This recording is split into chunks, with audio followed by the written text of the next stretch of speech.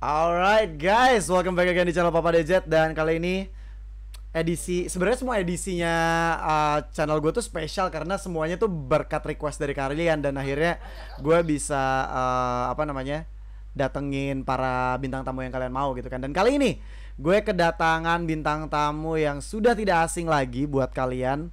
Ya nggak ada mukanya sih cuman ya udah nggak apa-apa. Kita panggil aja di sini. Udah ada udah ada Rusman the ganteng boys. Rusman Halo. Al halo anjir gila kalau ganteng tuh beda ya suaranya halo gitu.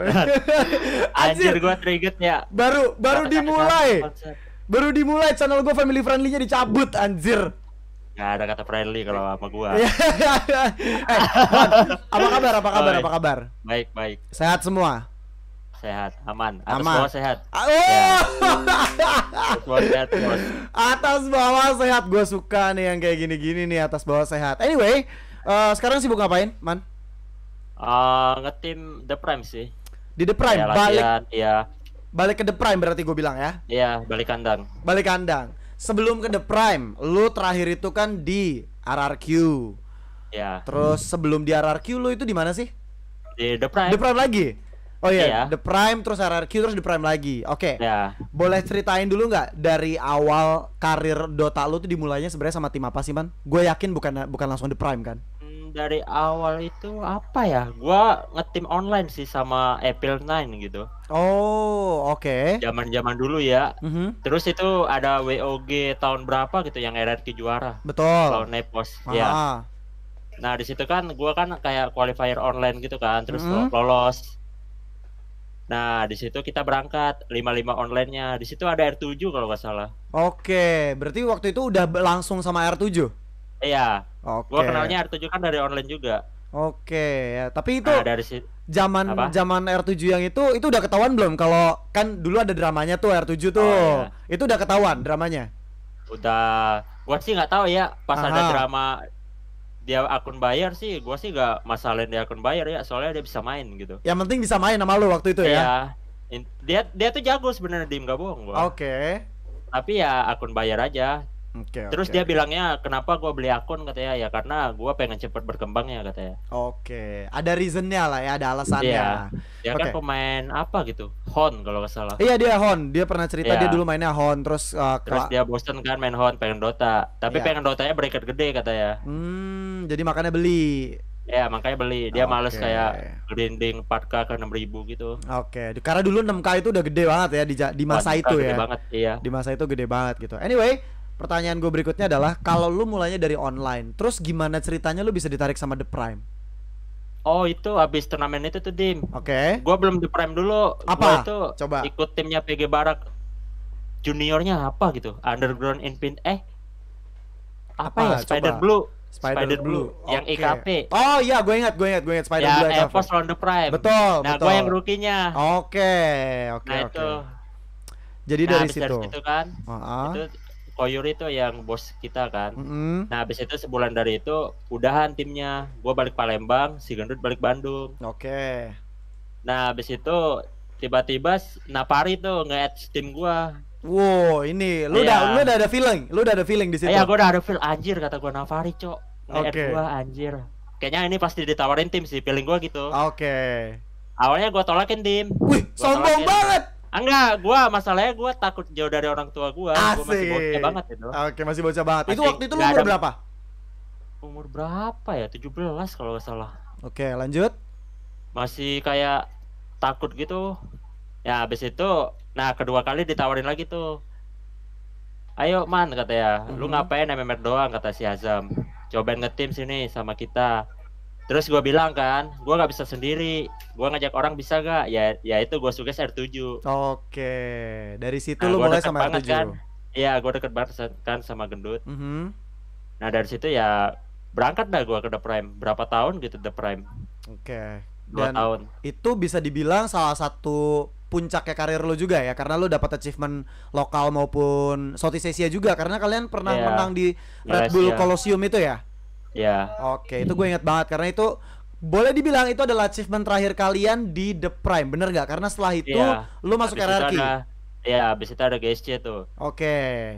Nah, GSC itu kan rombak rooster semua tuh. Mm-mm. Nah, di situ RRQ nawarin si siapa ya? Kenny, Kenny. Koko, Clara Mongstar nawarin Mhm. gua. Awalnya gua ditawarin sendiri, Dim. Kayak, Terus si Kenny man, ayo gabung. Terus gua bilang, gua gak bisa sendiri, Ken. Tetap ya. R7. Gua ngajak R7 bisa gak? Nah, si Kenny masih mikir-mikir waktu itu. Waduh, R7 ya, bentar gue pikirin lagi katanya. Nah, di posisi itu si gendut tuh ada dapat tawaran Epos juga. Oh, oke. Jadi kayak gua berdua tuh sama R7 tuh kayak antara pisah antara jadi satu lagi. Terus gua bilang ke RRQ Edut. Terus si Kenny-nya kan kayak du- dulu tuh kalau nggak salah sebelum gua tuh ada CJ sama Kaspi. betul, si J sama Kaspi. Nah, dua-duanya dikeluarin ganti gua sama gendut. Oh, gitu. Nah, dari situ gua masuk RRQ. Oke, dah di RRQ berarti kalau ngelihat tikam jejak yang gua lihat juga sebagai seorang caster di Indonesia, paling tingginya berarti emang masuk GSC, bener nggak? Atau ada lagi yang menurut Iya. lebih tinggi? Iya, kalau cuman buat gua doang ya, Ya. GSC paling tinggi bagi gua. GSC paling tinggi, karena itu minor dan itu diakuin sama Valve ya. Iya. Oke, nah Lawan api lagi awalnya. iya kan ya walaupun dihajar gitu. iya. Di situ kan ada meme-nya. Napi tim apaan? RRQ kan tim RRQ punya Lemon jago Kagura anjir anjir. itu, itu kalian jadi booming karena memang waktu itu antara RRQ udah hampir selesai Dota Dota fasenya karena mereka juga lagi ngerekrut tim Mobile Legend. Jadi Iya, makanya ada aduh. memes itu. Iya ada memes itu. Oke. Soalnya Lemon tuh terkenal banget di Mobile Legends. Iya, terkenal itu. banget, terkenal Jago banget. Kagura kan. Sampai Iya. sekarang juga terkenal itu bocah. Iyalah. Oke. Soalnya udah booming banget gamenya. Udah booming. Nah, anyway, pertanyaan gue berikutnya adalah dari semua tim, sekarang kan lu balik lagi ke The Prime ya. Iya. Eh, sebelum gua dari semua tim deh. Sebenarnya apa sih yang terjadi di di di RRQ sih, Man? I mean eh, ya oke lah kita tahu mungkin secara garis besar netizen taunya adalah ya RRQ udah nggak mau biayain tim Dota, udah punya tim Mobile Legend misalkan gitu. Tapi lu punya pendapat sendiri gak sih tentang apa sebenarnya yang terjadi di RRQ dan akhirnya tim Dotanya dibubarkan? Coba. Sebelum bubar itu kalau nggak salah tuh kita kan sempat nyoba rombak rooster kan kayak soalnya belakangan itu kalah-kalah terus dim kayak Hmm. ada kayak apa ya playernya tuh kayak ada yang nggak masuk gitu. Oke. Nah dari situ kita coba player Australia tuh si Extract Betul. Terus kayak ada Bokerino? yang DJ. Bukan, Bokerino bukan sama gua. Oh, bukan nama lu ya? Beda lagi ya? Oh, itu pas Pokoknya Farhan ya- masih main. Iya, Oke, pokoknya Koko Koko main juga kan sempat main kan bingung nyari rooster kan Ha-ha. kayak. Nah, di situ posisi waktu itu tuh Koko ekstrak eh ekstrak itu nggak suka sama R7. Kenapa? Kayak apa ya? Kayak nggak masuk gitu gameplaynya. Oke. Nah, di situ gua bingung kayak apa ya? Ada pilihan kan? Tim-tim gua kayak eh gimana nih? Rehatin R7 nggak? Kasih dia belajar dulu gitu kayak rehatin dulu. Oke. Nah, dari situ itu kan keputusan dari gua kan. R7 kan Mhm. tangannya di gua gitu. Mm-mm. Nah, dari situ gua kayak apa ya? Gua ngelepas R7 tuh ya udah kata gua. Rehatin Oke. aja dulu R7-nya, kasih dia pulang mungkin pikirnya kebuka gitu. Oke. Nah dari itu makanya R7 bisa pindah Mobile Legend tuh dia bisa kepikiran Mobile Legend. Hmm. Terus kalau gara-gara bubarnya itu ini deh kayaknya. Kemarin tuh sempat mau bikin lagi Bim RRQ-nya. Iya, yang waktu terakhir itu kan Iya. ada gosip-gosip mau bikin lagi, tapi akhirnya Iya, malah gua- gak jadi. Gue yang bilang tuh. Ah. Soalnya Pak Bosnya udah percayaan gua gitu. Rusman Oke. cari rooster aja katanya. Yang menurut Rusman bagus bilang aja ke gua. Nanti gua bentuk lagi timnya. Oke. Nah posisinya itu ada satu player gak bisa. Boleh sebut sebut gak? namanya. Boleh sebut gak? Pak, oke yang nggak bisa nggak usah Jangan, jangan, disebut. Ben. Yang Jangan, waktu ya. itu lo pikir bisa masuk nemenin lo siapa? Kecuali satu orang itu tadi. Dulu itu Bad Usagi, Oke, Barbie Usagi. Haide, Haide Haide. itu Bad Usagi, Haide udah Iya, pasti. iya, iya. Ha-ha. Ah, limanya itu antara gua milih Paris atau enggak Hupe. Oh, oke. Nah, ya.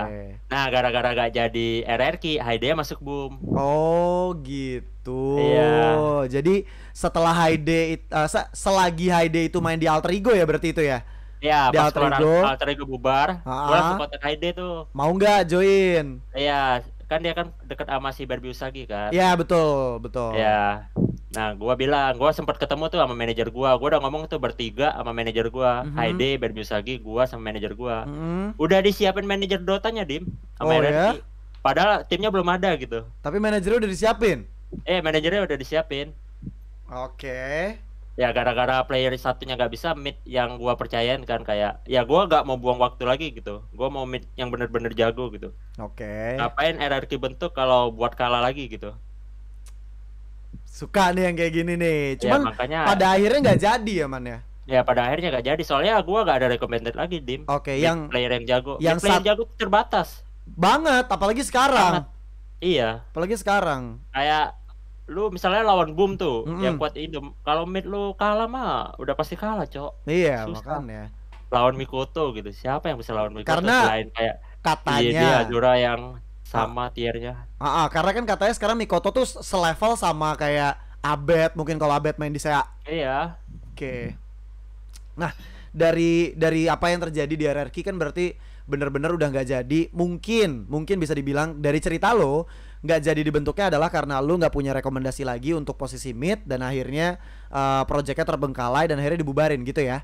iya Oke. dan itu pas bubarnya itu gua sempat ditawarin pak bosnya cobain Mobile Legend aja katanya makanya Nah. makanya gua kemarin sempat pindah Mobile Legend Itu yang gua tawar, eh, yang pengen gua tanyain bukan gua tawarin. iya sebenarnya berarti bener dong karena gue mikir gini Rusman dinonaktifkan dari Dota Oke, tapi kontraknya masih jalan. Ini pasti anak akan ditahan dulu, entah mau ngapain aja, biar nggak gabut. Bener nggak gue? iya Ya, jadi gua waktu itu berapa bulan ya Pokoknya AFK satu season. MDL gitu ya. iya Satu season MDL lu ikut di tim RRQ MDL buat tim Mobile Legends-nya, terus habis itu baru lu officially keluar. ya baru keluar Itu bener-bener nggak ada tawaran lagi, man. Kayak gimana mau stay nggak, masih mau coba nggak, atau bener-bener masih ditawarin masih ditawarin Oke, Dim terus? pak bosnya nahan gua tuh Oke. Rusman kamu yakin katanya mau balik ke Dota Dota game mati bro kata pak bosnya ya tetap aja passion gua di Dota gitu gua gak bisa Asik. maksain kayak apa ya gua gak bisa maksain di Mobile Legends sih kalau gua belum enjoy ya sama gamenya Ya, tapi waktu di kan lu juga officially di announce sebagai roosternya RRQ Mobile Legend. Di Ya. saat itu lu enjoy nggak? Eh nah 75% enjoy sih tapi Oke, berarti belum 100% emang hati lu buat Mobile iya, Legend. belum 100% buat Mobile Legend gitu kayak kan gua kan disuruh pak bosnya coba apa apa salahnya gua mencoba gitu Ah, ah. kayak gua penasaran aja gitu sama gamenya Oke. Itu lu berapa lama belajarnya? Wah, gua sih YOLO aja dim mainnya. Tiga bulan doang gua mainnya. Nggak bohong gua. Oke. Gua main Mobile Legends tuh cuman sekedar main doang dim kayak ya main kayak gua gabut nih segame ya udah kayak orang-orang main biasa gitu. Oh, Oke, kayak casual Tiba-tiba player gua aja. mas- Iya, tiba-tiba gua masuk RRQ MDL kan gua sempet gugup juga tuh setima mesin kayak Liam, Iya. Billy yang main MPL MPL gitu kan. Ah, ah, ah. Oke, Ya berarti kan semua dugaan gue benar. Berarti memang Rusman itu ditahan dulu agar paling nggak dia nggak gabut di RRQ dan eh, ternyata akhirnya lu sendiri yang buka omongan barusan lu yang milih buat keluar dari RRQ manajemen karena ya tawarannya dari RRQ adalah untuk main Mobile Legend lagi, bukan ngebentuk tim Iya. Dota. Yang terakhir, yang terakhir benar ya. Oke, nah eh untuk berikutnya, Man, masih ada nggak nih? Rusman,